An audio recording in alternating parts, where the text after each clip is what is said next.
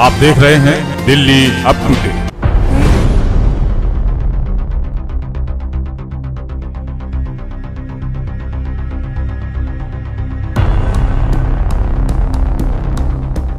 अब आगे जाके बाइक से गिर गई। सीने में दर्द होने लगा और हाँफने लगे।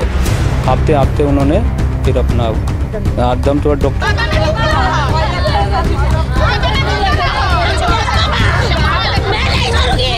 बोल रहे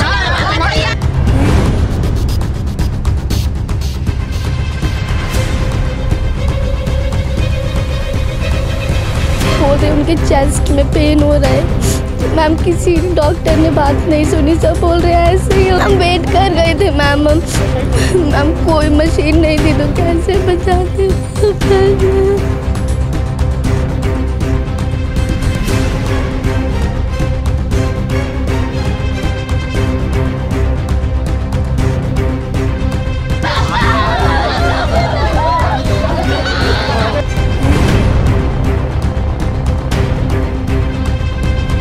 डेंटल बंदा था उनकी तरफ़ से पैसे वैसे भी पुलिस वालों को खिलाया गया उनकी ज़्यादातर बातें मानते हैं वो लोग।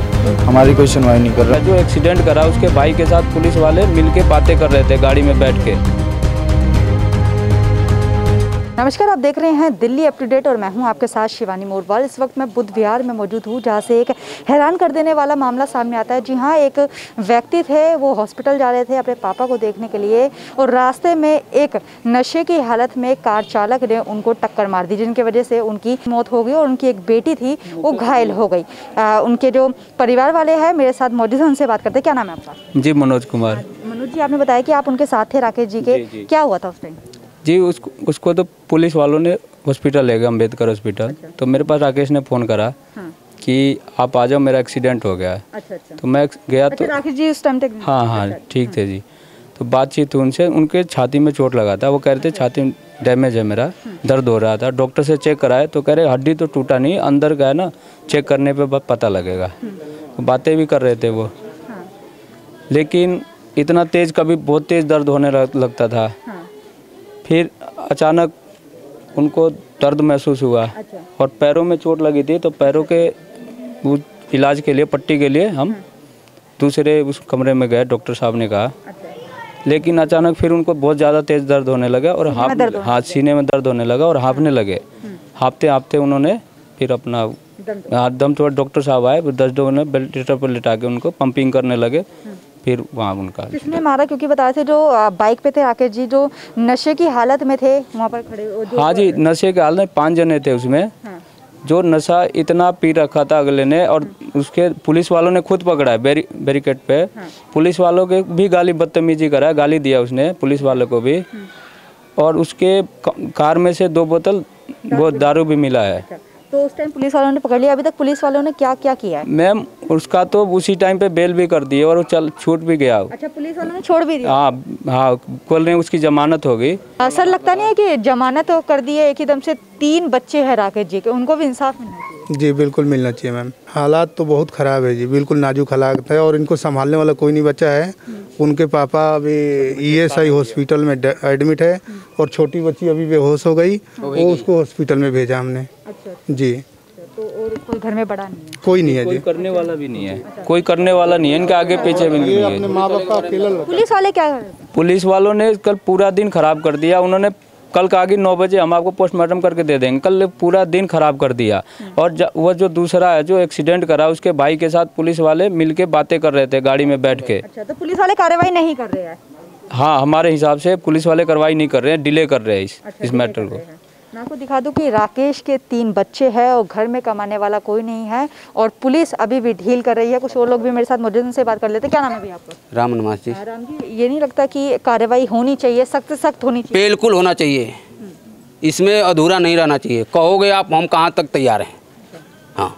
एक्सीडेंटल बंदा था उनकी तरफ़ से पैसे वैसे भी पुलिस वालों को खिलाया गया। उनकी ज़्यादातर बातें मानते हैं वो लोग हमारी कोई सुनवाई नहीं कर रहे उन पैसे खिलाए गए हैं बात नहीं मान रहे पुलिस वाले। हाँ हाँ बिल्कुल। तो सर इंसाफ तो चाहिए ना तीन बच्चे हैं उनके ऊपर और आगे हम चाहते हैं कि इनकी इनके इनका फैमिली में अकेले थे ये कमाने दाने वाले। इनके तीन बच्चे हैं और बड़े बड़े हैं।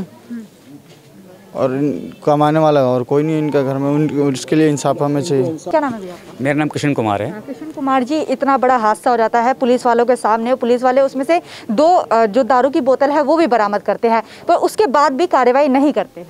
ये बिल्कुल गलत बात है और ये पुलिस वाले ऐसा कर रहे हैं ये बहुत दुख की बात है कि एक हमारे ऊपर एक परेशानी आई हुई है उसके बाद भी हमें हेल्प नहीं मिल रहा है तो आप सोच सकती हैं कि कितना बड़ा दिक्कत हो सकती है। हमारी उम्मीद है कि पुलिस वाले कुछ करेंगे क्योंकि तीन बच्चे इनके हैं छोटे छोटे हैं घर में कोई कमाने वाला नहीं है। इनके एक पेरेंट्स हैं जो फादर हैं वो एडमिट है ईएसआई में। उनके नाक से ब्लड निकल रहा है। वो इनको देखते ही वो भी मेरे ख्याल से चले ही जाएँगे वो जहाँ तक मेरा ख्याल है। लोग वेट कर रहे हैं उनका। वो भी हैं और वो अगर उनको कुछ हो गया चल नहीं पाते। वो सब I think eighty three eighty के आसपास के हैं मोर देन एटी ईयर्स के हैं। छोटे बच्चों को देख लीजिए एक बच्ची अभी बेहोश हो गई है उसको अस्पताल में ले जाया गया है। उसके बाद दो छोटे छोटे बच्चे यहाँ पे पड़े हुए हैं उनकी हालत देखिए उनकी बीवी पागल सी हो रही है। और इस इन हालातों को देखते हुए पुलिस को यहाँ पे होना चाहिए हमें सपोर्ट करना चाहिए। तो आप देखिए क्या हो रहा है हमारे साथ। कम से कम ये तो होना चाहिए। पुलिस प्रशासन की बात करते हैं तो उनको पहले पकड़ते हैं उसके बाद छोड़ भी देते हैं। तो ये बहुत गलत बात एटलीस्ट कम से कम पता तो लग किसका एक्सीडेंट हुआ मरा है जिया है क्या हो रहा है उसके बाद कुछ फैमिली है कि नहीं है। तो उसके अकॉर्डिंग पुलिस को कार्रवाई करनी चाहिए। अब आप जाके जो एक्सीडेंटल हैं जो क्राइम करके और उसके गाड़ी में बैठ के आप बात कर रहे हैं तो हमारे दिल पर क्या गुजरेगी? कम से कम हमसे बात करना चाहिए क्योंकि विक्टिम तो हम लोग हैं।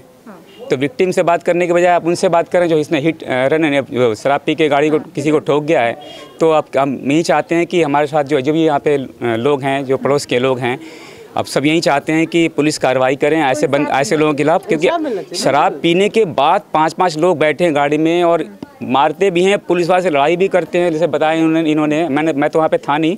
तो ये कितनी गलत बात है कि एक तो आप मार भी रहे हैं हमें, जान से मार भी दिया और लड़ाई भी कर रहे हैं, पुलिस वाले भी कर रहे हैं, सेटिंग भी कर रहे हैं, और यहाँ पे आके जो बच्चे यहाँ पे भूखे प्यासे बैठे हैं, तीन दिन से बैठे हैं। तीन दिन से किसी बच्चे ने कुछ नहीं खाया। मैडम, अभी फ़ोन आया था डॉक्टर के पास से कि बच्चे कुछ कुछ खाया नहीं है, मैं क्या दवाई दी उसको? क्या नाम है मेरा नाम खुशी है। खुशी। क्या हुआ था? आप अपने पापा के साथ पीछे बैठे थे दादा को देखने जा रहे थे क्या था पूरा उस मैम दादा की तबीयत खराब थी नोज़ से ब्लीडिंग हो रही थी। हम उनकी देखभाल करके रात में वापस आ रहे थे। मैम कार वाले ने ट्रंक कर रखा था और उसकी कार में दो बॉटल रखी हुई थी। अल्कोहल की। मैम, उसने पीछे से धक्का दिया। मैं पीछे गिर गई। मैम, मेरी बैक बोन बहुत पेन कर रही है। पैर में बहुत पेन हो रहा है। पापा आगे जाके बाइक से गिर गए उसके बाद मैं बहुत रो रही थी। तो पापा मेरे को एंबुलेंस बुलाया।